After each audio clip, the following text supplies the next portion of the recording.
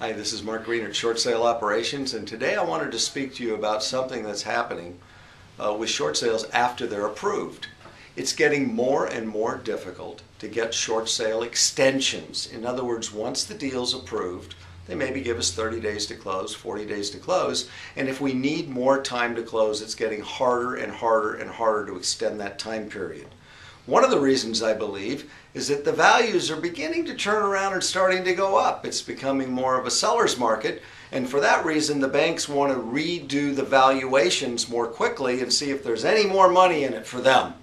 So, uh, unless we have a good reason uh, that we need the extension, usually what happens is they go back and they want to start over, and a lot of times the results the second time or that they come back and they want more money for the short sale. And I'll tell you, that's awfully difficult to tell a buyer that's already been waiting for a few months, got an approval, and then it expired, and they came back and now they have to pay more money for it.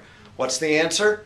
Well, the most important thing to do is if the buyer's getting financing, be sure that they go with a company that can work hard to get that mortgage approved so we can close within the time period of the short sale letter. Also, we want to get going on the title right away. I uh, want to give them time to clear the title. If it's a condo, you want to get the buyer approved with the condo association.